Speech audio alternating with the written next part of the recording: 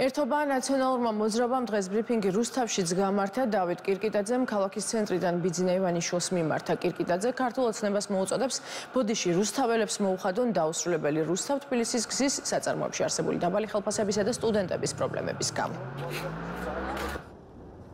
აქ რუსთავში რამოდენიმე საათში დაიწყებს ბიძინა ივანიშვილი და ქართული ოცნება შეკრებას და შეხვედრას და ჩვენ რუსთაველები ადამიანები, რომლებიც ძალიან გაბრაზებული ვართ, განსაკუთრებით მისი უკანასკნელი განცხადების შემდეგ, რომელიც მან გააკეთა გორში, მას მოუწოდებთ, რომ იგივე აღარ გაიმეოროს რუსთავში.